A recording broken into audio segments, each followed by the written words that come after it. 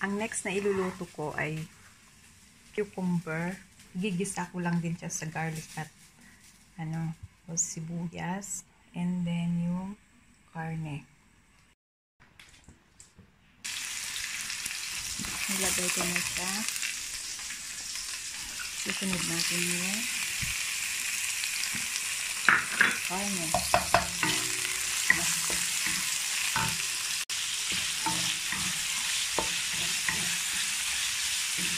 Gigisa lang natin siya ng ilang segundo.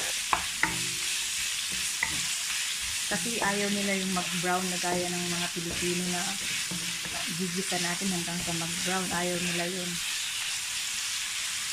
Tapos, talagyan ng konting toyo.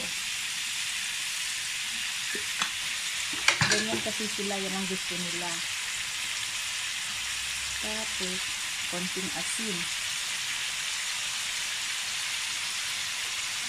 Konting asin.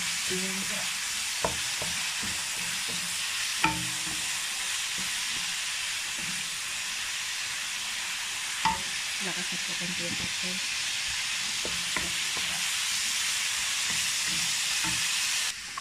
Ilalagay na natin yung cucumber.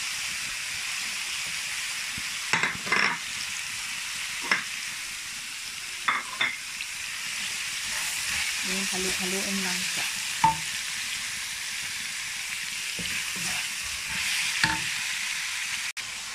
Ayan siya, naluluto na siya.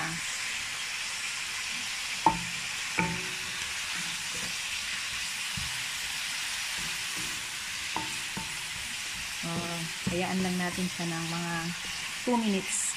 2 minutes, okay na yan. Takpan natin. Ayan, luto na siya. Ready to serve na cucumber.